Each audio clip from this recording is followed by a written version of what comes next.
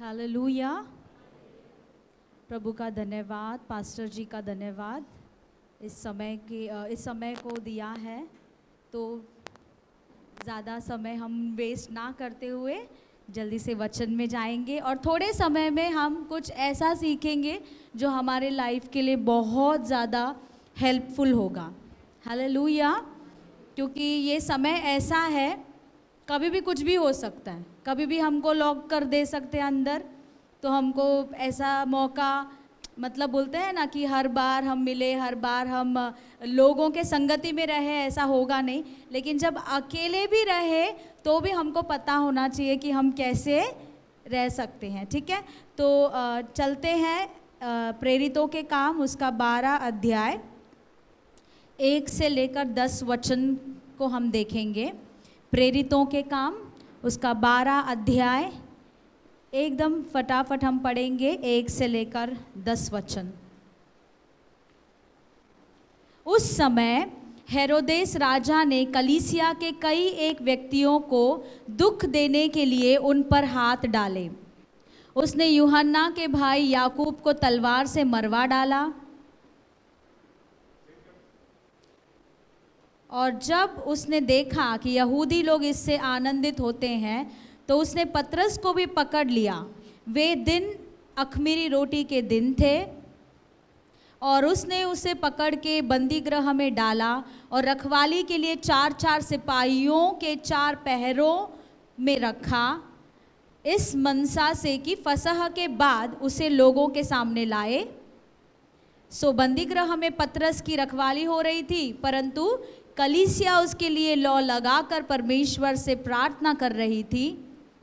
और जब हेरोदेस उसे उनके सामने लाने को था तो उसी रात पतरस दो जंजीरों से बंधा हुआ था। दो सिपाहियों के बीच में सो रहा था और पहरुए द्वार पर बंदी गृह की रखवाली कर रहे थे। तो देखो, प्रभु का एक स्वर्गदूत आ खड़ा हुआ और उस कोटरी में ज्योति चमकी और उसने पतरस की पसली पर हाथ मार के उसे जगाया और कहा, उठ, फुर्ती कर। और उसके हाथ से जंजीरें खुलकर गिर पड़ी। तब स्वर्गदूत ने उससे कहा कमर बाँध अपने जूते पहन ले। उसने वैसा ही किया। फिर उसने उससे कहा, अपना वस्त्र पहनकर मेरे पीछे हो ले। वह निकलकर उसके पीछे हो लिया, परंतु यह न जानता था कि जो कुछ स्वर्गदूत कर रहा है वह सचमुच है। वरन यह समझा कि मैं दर्शन देख रहा हूँ। तब वे पहले और दूसरे पहरे से निकलकर तीसरा लोहे के फाटक पर पहुँचे, जो नगर की ओर है। वह उनके लिए आप से आप खुल गया और वे निकलकर एक ही गली होकर गए। इतने में स्वर्गदूत उसे छोड़कर चला गया। बारह वचन निकालेंगे? वचन बारह। और यह सोचकर वह यूहन्ना, एक मिनट। आगे का वचन देखिए। तेरह। जब उसने फाटक की खिड़की खटखटाई तो रूदे नाम एक दासी सुनने को, क्या? सुनने को आई, ओके। तो ये पूरा हमने यहाँ का जो सिनारियो है, जो चल रहा है, वो हम देख रहे हैं। हेरोदेस जो है, उसने ऑलरेडी याकूब को गला कटवा के मार दिया था, ठीक है? और इस बात से बहुत सारे लोग खुश हो गए थे। तो हेरोद का ये इच्छा था कि लोगों को खुश करने के लिए पतरस को भी क्या करते हैं? मरवा देते क्योंकि पतरस उस समय लीडर था, सारे चेलों में सबसे मेन था। अगर याकूब के मरने से लोग इतना खुश हो रहे हैं, उसके मरवाए जाने से तो पतरस के मरवाए जाने से लोग और भी खुश हो जाएँगे। तो ये सोचकर हेरोदेस ने क्या किया था? पतरस को बंदी ग्रह में बंद करके रखा था और वो इंतज़ार कर रहा था, क्योंकि उस समय फसह का पर्व था। फेस्टिवल था, वो सोच रहा था कि पर्व होने के बाद हम क्या करते हैं, पतरस को भी मरवा देते हैं तो लोग मेरे से और भी खुश हो जाएँगे। लेकिन वो नहीं जानता था कि वहाँ पे कुछ तो सुपर होने वाला है। हालेलुया वहाँ पे कुछ तो अलौकिक वहाँ पर परमेश्वर करने वाले हैं। तो जब पतरस बंदी गृह में बंद था तो कुछ स्वर्गदूत आए। वचन में हमने देखा कि पतरस जो है साखलियों से जकड़ा हुआ था, जंजीरों से जकड़ा हुआ था और पहरुए उसके चारों ओर लगाए गए थे बहुत सारा मतलब बोलते हैं ना, एकदम टाइट सिक्योरिटी लगाई गई थी कि वो कहीं से भी बाहर निकलने ना पाए। लेकिन स्वर्गदूत आए, जंजीरें टूट गई, पहरुए भी वहाँ पर सो गए और पतरस को एंजल, यानी स्वर्गदूत क्या किया? बाहर लेकर आया। उसके जंजीरों को तोड़कर वो सारे सिक्योरिटी से बचाकर स्वर्गदूत उसे क्या कर दिया? आज़ाद कर दिया। हालेलुया। इस बात से हम ये सीखते हैं कि कई बार हमको भी क्या किया जाता है? जंजीरों से हम बांधे जाते कुछ ना कुछ समस्या, कोई ना कोई बीमारी, कोई ना कोई बंधन, कोई ना कोई ऑपरेशन, बोलते हैं ना, कोई ना कोई दबाव, ये सारी चीज़ों से हम बंधे जाते हैं और इन चीज़ों से हमको कोई आज़ाद नहीं कर सकता। समझ में आया? एकदम टाइट सिक्योरिटी यहाँ पर हेरोद जो है हेरोद तो आज नहीं है, उस ज़माने में वो था, लेकिन हेरोद की आत्मा आज भी है, जो लोगों को क्या करती है? बंदी बनाकर रखती है, जो लोगों को जकड़ कर रखती है, मानसिक बंधन में, शारीरिक बंधन में, पैसों के बंधन में है ना, कोई ना कोई आदतों के बंधन में वो बाँध कर रखने वाली एक आत्मा है और वो ऐसे बाँध कर रखता है कि ये छूटने ना पाए।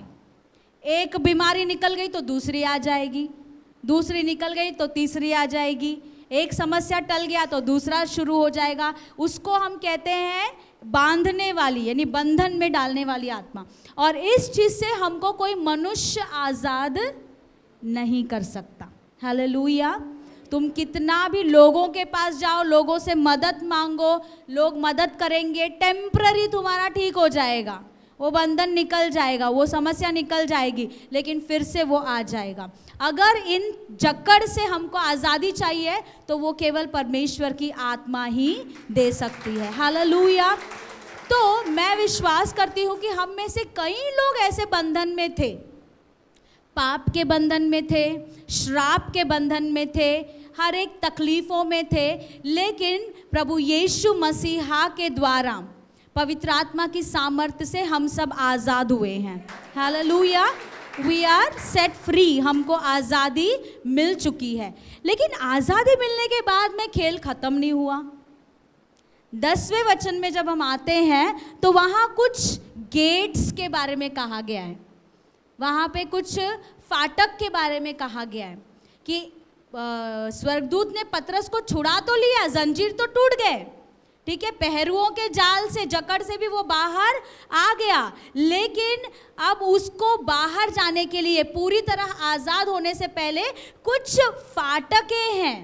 उन फाटकों को क्या करना है? पतरस को खुद पार करना है।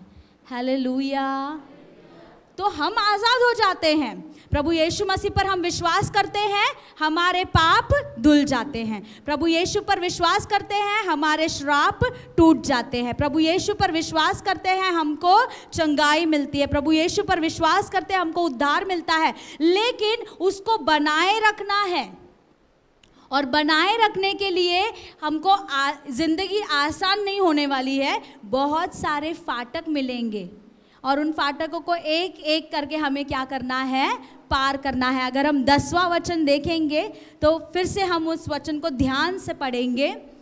तब वह पहले, यानी पहला फाटक, और दूसरे पहरे, यानी दूसरा फाटक, दूसरा गेट, और से निकलकर उस लोहे के फाटक, यानी तीसरा फाटक जो है वो कौन सा फाटक है?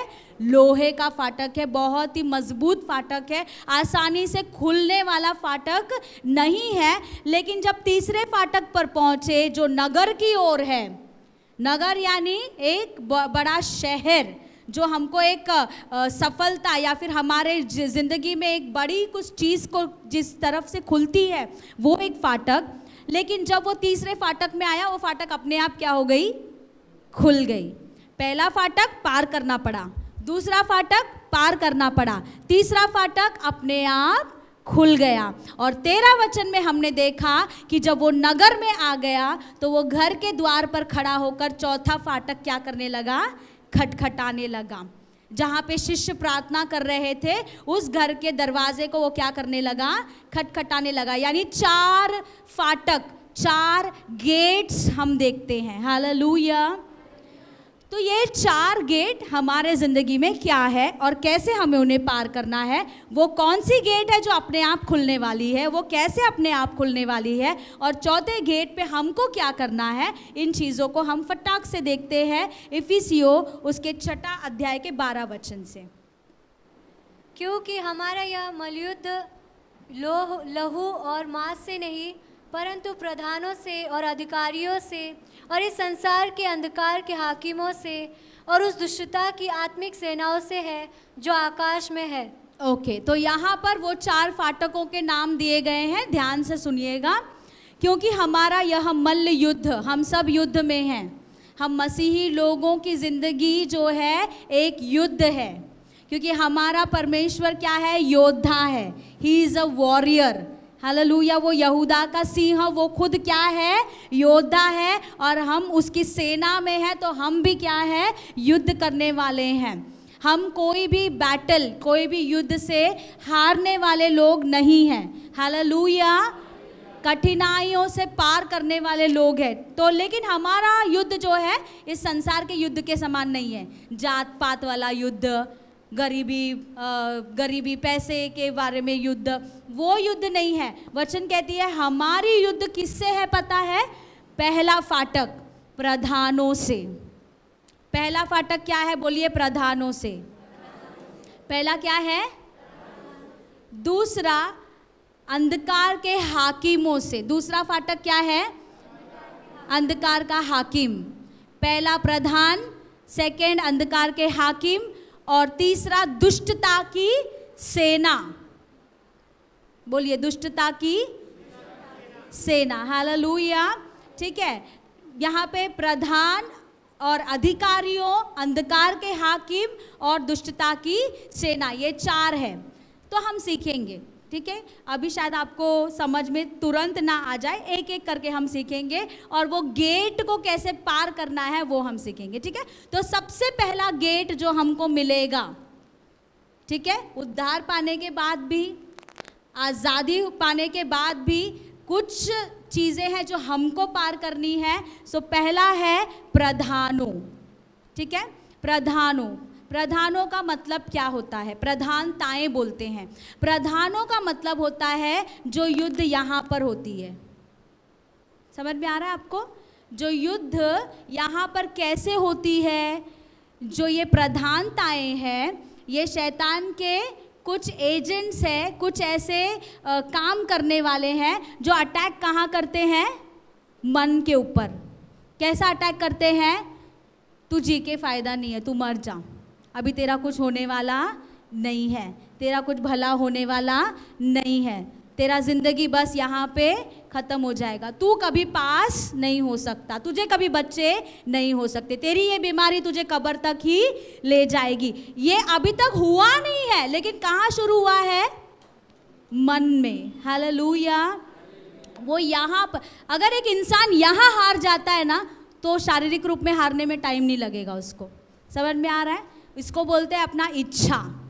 विल जिसको बोलते हैं विल पावर हालेलुया तो प्रभु हमको ये शक्ति देता है।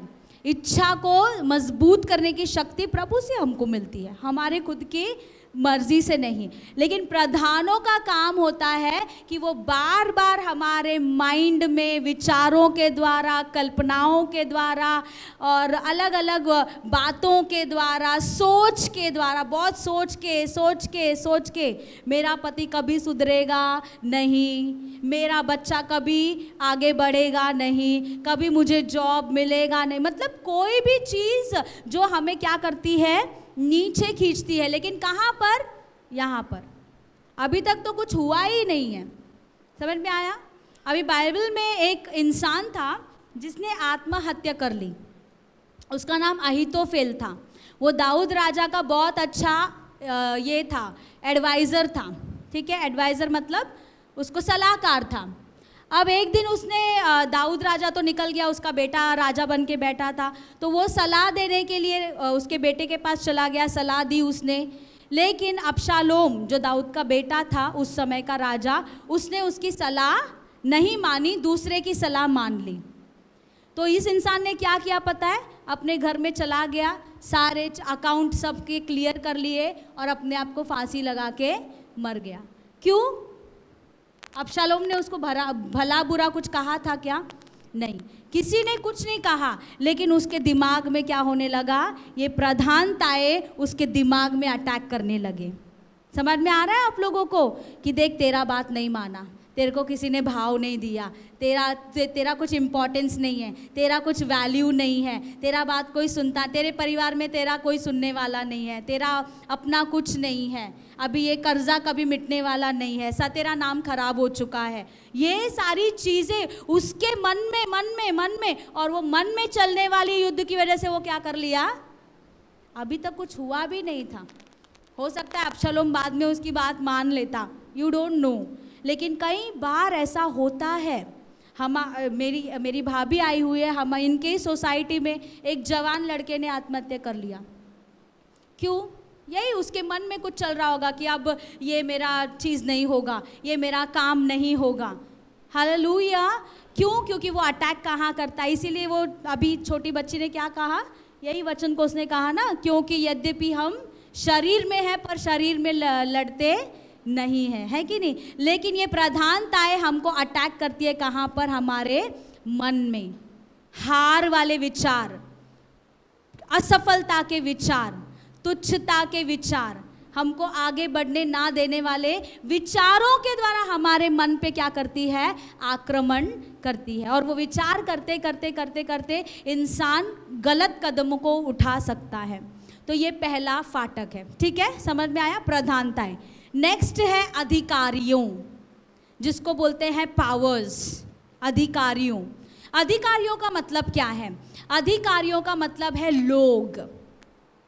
ठीक है? पहला जो है वो विचारों के द्वारा। जो विचार को किसी ने बोला नहीं है, तुम्हारे मन में डाला जा रहा है, तुम्हारे सोच में आ रहा है। लेकिन ये जो दूसरा है फाटक, जिसको अधिकारी कहते हैं, अधिकारियों का मतलब है लोगों की बातें। लोग तुम्हारे बारे में कुछ बोल रहे हैं, लोग तुम्हें कुछ तुम्हारे कानों में कुछ भर रहे हैं। समझ में आ रहा है? लोग कहते हैं कि, जैसे फॉर एग्ज़ाम्पल माँ बाप अपने अगर बच्चे को कहेंगे, ये मेरा बेटा एकदम डब्बू है डफ्फर है, ये तो कभी गधा है। है ना, कई बार बोलते ये तो गधा है, मेरी लड़की अच्छा पढ़ती है, ये नहीं पढ़ता, ये गधा है। समझ में आया? तो वो जो शब्द होते हैं, जो अधिकारियों के द्वारा कार्य करते हैं, वो शब्द लोगों के द्वारा हमारे ज़िंदगी पर क्या करते हैं? आक्रमण करते हैं। हालेलुया। लोगों की तरफ़ से आने वाले शब्द लोगों के बर्ताव। फॉर एग्ज़ाम्पल आप चर्च के अंदर आए। हम दोनों चर्च के अंदर आए, ठीक है? और पास्टर जी ने एक से हाथ मिलाया, दूसरे से हाथ नहीं मिलाया। तो उनके बर्ताव से दुष्ट क्या करेगा? देखा, तुझे कोई पसंद नहीं करता। देखो, उसको हाथ मिलाया, तुमको हाथ नहीं मिलाया। समझ में आ रहा है आपको? लोगों के बिहेवियर्स के द्वारा कभी कभी लोगों के मन में कुछ नहीं होगा। लोगों के, लोग लोग जब बर्ताव करते हैं तो तुम्हें ठेस पहुँचाने के लिए भी नहीं करते होंगे। लेकिन दुष्ट क्या करेगा? लोगों के बर्ताव को, शब्दों को, उनके बोलचाल को इस्तेमाल करेगा और तुम्हारे ऊपर क्या करेगा? आक्रमण। हमारे ऊपर क्या करता है? आक्रमण करता है। दिस इज़ द सेकेंड फाटक सेकेंड गेट जिसको हमें पार करना है। लोगों से हम इजीली हार जाते हैं। है ना? लोग कुछ बोल दिए तो चर्च में आना बंद कर देते हैं। लोगों के सामने कुछ चीज़ें बाहर आई तो हम उनसे मिलना बंद कर देते हैं। ये सब हमारी ज़िंदगी में होती है, ये दूसरा है। और तीसरा, अंधकार के हाकिम रूलर्स ऑफ़ डार्कनेस अंधकार के हाकिमों में जादू टोना करने वाले, काला जादू करने वाले, जो बाहर तंत्र मंत्र फेंकने वाले, ये सब किसमें आ जाते हैं? अंधकार के हाकिमों के अधीन में आ जाते हैं। हालेलुया। लेकिन हमने क्या देखा था? तीसरा फाटक अपने आप खुल जाता है। हालेलुया। वो कैसे अपने आप खुलेगा? हम धीरे से सीखेंगे। और लास्ट है दुष्टता की आत्मिक सेना। ये कहाँ पर है? वहाँ पर लिखा है, आकाश में है। ये कौन सा आकाश है? जो हमको दिखता है, वो वाला आकाश नहीं। ये जो दिखाई दे रहा है, वो पहला आकाश है। उसके ऊपर एक दूसरा आकाश है, उसके ऊपर तीसरा आकाश है, जहाँ प्रभु का सिंहासन है। तो दोनों आकाशों के बीच में जो है, उसको बोलते हैं मध्य आकाश। तो दुष्टता की सेना कहाँ काम करती है? वो मध्य आकाश में। अगर दानियल की किताब में आप लोग पढ़ोगे ना दसवें अध्याय में, दानियल के दानियल को क्या कहा गया है? स्वर्गदूत आकर क्या कहता है? जिस दिन तूने प्रार्थना किया, उसी दिन प्रभु ने तेरी प्रार्थना को क्या कर ली? सुन ली। और उसी पल तेरा उत्तर भी भेज दिया गया। लेकिन तेरा उत्तर तेरे तक आने के लिए 21 दिन लग गए। क्यों 21 दिन लग गए? क्योंकि मध्य आकाश में जो दुष्टता की सेना है, मध्य आकाश में रुकावटें हैं, मध्य आकाश में कार्य करने वाली दुष्टता की सेना हमारे प्रार्थनाओं के उत्तर को रोकती है, हमारी आशीषों को रोकती है है ना? और तब मिकाइल स्वर्गदूत वहाँ पर लड़ाई करता है और उसे हरा कर दानियल का उत्तर उस तक पहुँचा देता है। यानी ये चौथा फाटक कहाँ कार्य करती है? मध्य आकाश में। हालेलुया। समझने की कोशिश कीजिए। Okay okay? पहला फाटक हमारे दिमाग में जो अटैक होते हैं, विचारों के द्वारा खुद के विचार खुद के डाले गए सारे कल्पनाएँ, उन विचारों से हमारे ऊपर आक्रमण होता है। दूसरा जो है लोगों की वजह से, लोग जो हमको बोलते हैं या फिर लोग जो बर्ताव हमारे साथ करते हैं, उससे हमको चोट लग जाती है।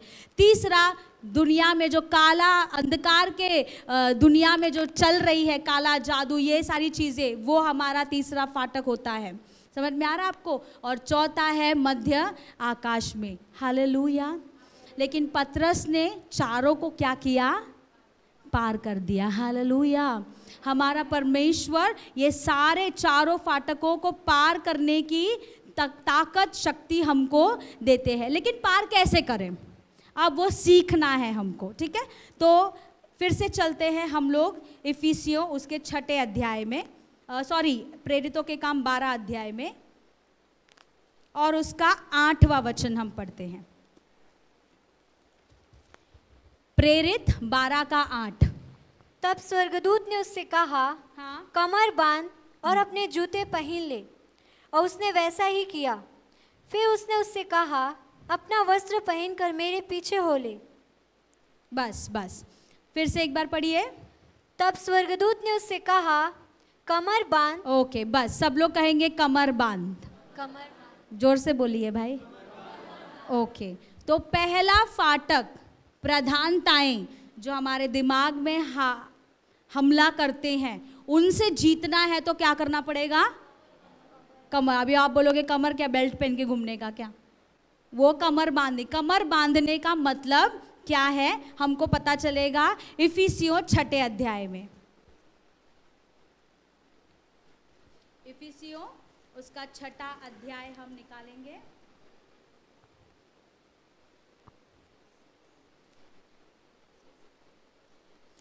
फोर्टीन वचन पढ़ेंगे।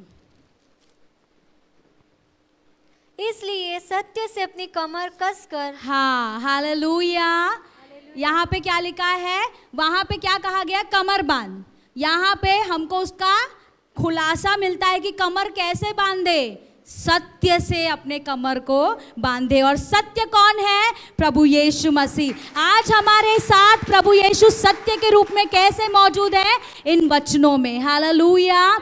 ये बाइबल के वचन एक पहले पन्ने से लेके आखिरी पन्ने तक सत्य है। ये सत्य के वचन है। इसमें जो भी लिखा गया है, वो क्या है? सत्य है। दुनिया की बातें झूठी है। तुम्हारे दिमाग में आक्रमण करने वाली बातें झूठी है। हालेलुया।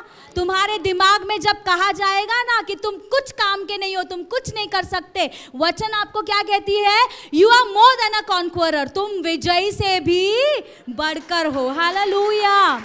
तो वच हमको पहला अगर चीज़ से तुम्हारे मन से तुमको अगर युद्ध जीतना है तो क्या करना है? ये सत्य को कसना है। कभी कभी बेल्ट एकदम ढीला हो जाता है। है ना? परिस्थितियों के कारण, समस्याओं के कारण। लेकिन फिर से क्या करना है? टाइट करना है। नहीं, मैं वो जो मेरे मन में चल रहा है, उसके ऊपर विश्वास नहीं करूँगी। मैं वो विश्वास करूँगी जो प्रभु मेरे बारे में बोलता है। हालेलुया। तेरा कोई नहीं है, तू अनाथ है। तो वचन क्या कहता है? प्रभु अनाथों के पास आता है। हालेलुया। वो क्या कहता है? वो इंपॉर्टेंट है। बाकी मेरे दिमाग में क्या चल रहा है? वो इंपॉर्टेंट नहीं है। मेरे आजू बाजू की परिस्थितियाँ मुझे यहाँ पर क्या बोल रही है? वो इंपॉर्टेंट नहीं है। पहला फाटक यदि मुझे पार करना है, जीतना है तो मुझे सत्य से अपने कमर को कसना है और सत्य आपको कहीं नहीं मिलेगा। इसको हम बोलते हैं, हमारे भाषा में इसको सत्य वेदा बोलते हैं। कन्नड़ा भाषा में। यानी ये दिस इज़ द ट्रूथ ये जो है सत्य है बाइबल जो है सत्य है। इसको पढ़े और इसके अंदर जब हम पढ़ते हैं ना, वो हर चीज़ जो वहाँ पर हो रही है, अगर वहाँ पर किसी को चंगाई मिल रही है, यानी वो चंगाई सत्य है। हालेलुया। लूका पाँचवें अध्याय में वो पता है वो जो पैरालाइज्ड लखवा मारा हुआ इंसान को ऊपर से नीचे भेजा जा रहा था, वहाँ पर क्या लिखा है? वहाँ परमेश्वर की सामर्थ मौजूद थी। वो नीचे आने से पहले ही वहाँ पे सामर्थ मौजूद थी। यीशु मसीह वहाँ पर मौजूद थे, उसकी सामर्थ वहाँ पर मौजूद थी। तो उसी प्रकार जब भी हम इस बाइबल के वचनों पर विश्वास करते हैं, उसमें सामर्थ मौजूद होती है। खाली करना क्या है उसे हमको स्वीकार करना है। हालेलुया हमें उसके उसको रिसीव करने। उस कमरे में बहुत सारे लोग थे और बहुत सारे लोग पापी भी थे बहुत सारे लोग बीमार भी थे लेकिन वो जो लकवे से आ, मारा हुआ इंसान ऊपर से नीचे आया उसके अंदर प्राप्त करने की इच्छा थी इसीलिए उसने वो सामर्थ्य को पहले महसूस किया। हालेलुया तो हम पहला फाटक अगर पार पार करना है तो क्या करना है? जब भी भी आप मेंटली आप स्ट्रेस्ड हो जाएँगे मेंटली आपको लगेगा कि बस अभी, अब मैं नहीं जी सकता, अब मैं ये चीज़ नहीं कर सकती, अब बस हो गया, ऐसे लगेगा तो हम ये देखें, इसको पढ़ें। ठीक है? उस समय जब हम तकलीफ़ में होते हैं, ये पढ़ेंगे ना, शायद आपको समझ में ना आए।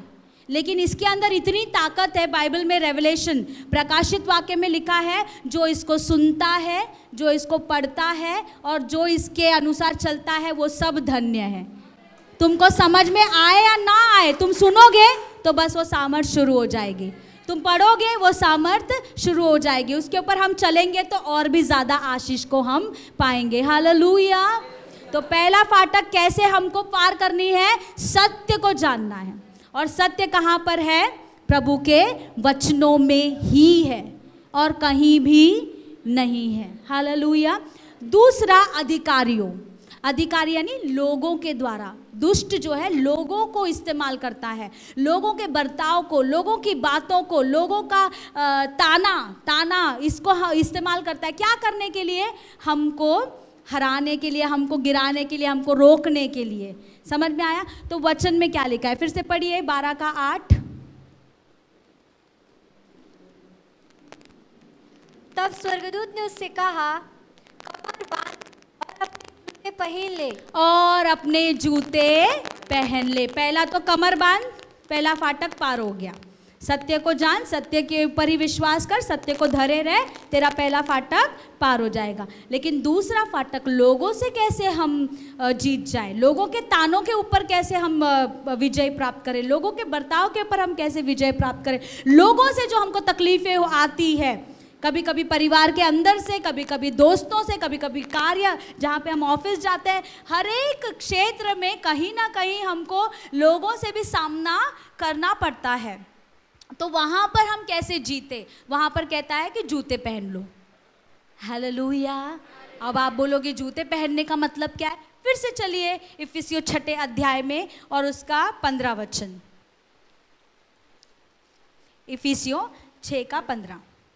और पाओ में मेल के सुसमाचार की तैयारी के जूते पहनकर मेल मेल यानी पीस शांति मेल मिलाप मेल के जूते पहन ले। मेल के सुसमाचार के जूते पहन ले। लोगों से तकलीफ़ आती है तो भी क्या कर ले उनसे मेल कर ले। हालेलुया। बारह का आठ पढ़िए। तब स्वर्गदूत ने उससे कहा तब स्वर्गदूत ने उससे कहा कमर बाँध और अपने जूते पहन ले। हाँ जूते क्या कहा है? अपने जूते पहन ले। तुझे कोई आके पहनाने वाला नहीं है। समझ में आ रहा है? मेल मिलाप जब करने की बात आती है तो तू खुद कर।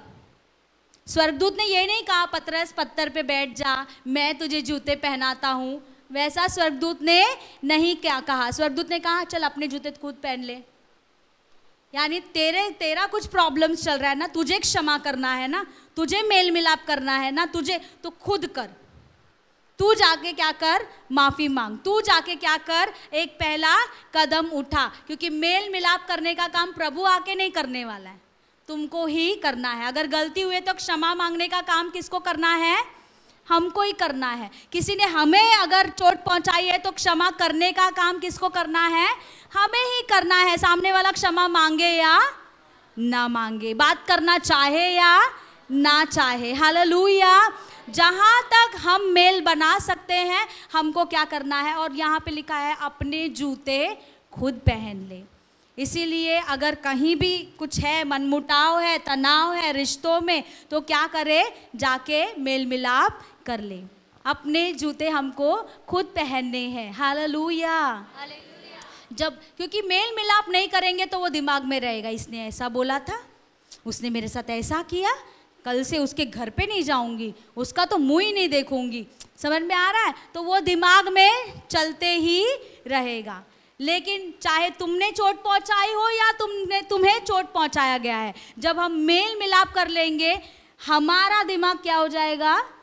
ठंडा हो जाएगा। हमारा दिमाग क्लियर हो जाएगा। नहीं तो हम खुद अपनी शांति को क्या कर बैठते हैं?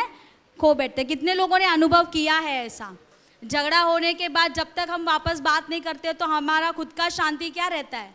भंग रहता है ना, चाहे वो पति पत्नी के बीच में हो, भाई बहन के बीच में हो, दोस्तों के बीच में हो, कोई भी, किसी भी रिश्ते में क्यों ना हो। लेकिन जब तनाव होती है रिश्तों में तो हमारे अंदर शांति नहीं होती। और अगर सामने इंसान आता है तो और भी भंग हो जाता है शांति। है ना? और भी फ्यूज क्या हो जाता है? गर्म हो जाता है। बराबर की नहीं? प्रैक्टिकल चीज़ मैं बता रही हूँ। करेक्ट ना? तो ऐसे समय में क्या करना है? जाने दे भाई, तू बड़े बाप का, मैं ही झुक जाती हूँ। समझ में आ रहा है? हालेलुया तो अपने जूते क्या कर ले? खुद पहन ले तो ये सामर्थ्य हमारे ज़िंदगी में कार्य करेंगे नहीं। हालेलुया और तीसरा फाटक, जादू टोना श्राप, ये सारी चीज़ें जो किया जाता है अंधकार के सेना, अंधकार के हाकिमों के द्वारा किया जाता है। वो फाटक अपने आप क्या हो गया? खुल गया। हालेलुया। इसका मतलब क्या है? अगर हम यहाँ पर मेल में हैं, यहाँ पर शांति है, ठीक है, यहाँ पर कोई लड़ाइयाँ हमारी नहीं हैं, और जब लोगों के साथ हमारा मेल मिलाप है, जब लोगों के साथ हमारे रिश्ते सही है, हालेलुया तब ऑटोमेटिकली परमेश्वर हमारी ओर क्या हो जाता है? खड़ा हो जाता है। और वो सारे जादू, टोरा, चाहे कितना भी तू घुमा ले लींबू फेंक, मिर्ची फेंक, कुछ भी कर, कुछ भी बोल, तंत्र, मंत्र, कितना भी फेंक, मेरे ऊपर चलने वाला नहीं है। क्योंकि वचन क्या कहता है? इज़राइल के घराने पर कोई भी जादू, टोना नहीं ठहर सकता। हालेलुया। हालेलुया। इसीलिए उस फाटक के लिए क्या क्या कहा गया है? जब पत्रस उस फाटक के पास आया, वो लोहे का, वो बहुत जिद्दी फाटक होता है। एक्चुअली ये देखा जाएगा ना, ये जो अंधकार के हाकिम काम करते हैं, वो जिद्दी होते हैं। लेकिन जब हमारा रिश्ता प्रभु के साथ सही है, हमारा रिश्ता लोगों के साथ सही है तो ये सारी चीज़ें हमारे लिए कार्य करेंगे नहीं। हालेलुया वो अपने आप क्या हो गए? खुल गए। और फिर आ गया लास्ट फाटक, और लास्ट फाटक क्या है? मध्य आकाश में जो रुकावटें डालने के लिए दुष्ट दुष्ट एंजल्स यानी दुष्ट स्वर्गदूत जो मध्य आकाश में हैं, वो दुष्ट सेना का हम कैसे सामना करें? उनके ऊपर विजय कैसे प्राप्त करें? तो तेरा वचन एक्ट्स बारह का तेरह हमने क्या देखा? पत्रस फाटक के पास आकर क्या करने लगा? बारह, तेरह पढ़िए। जब उसने फाटक की खिड़की खटखटाई खटखटाई सारे लोग कहें खटखटाई। खटखटाई। लास्ट चीज़ से अगर हमको जीतना है जो मध्य आकाश में हो रही है जो हमको दिखता नहीं है। समझ में आ रहा है? तुम घर मांग रहे हो घर मांग रहे हो घर मांग रहे हो लेकिन तुमको मिल ही नहीं रहा है। ये मत सोचना कि प्रभु प्रार्थना नहीं सुना है।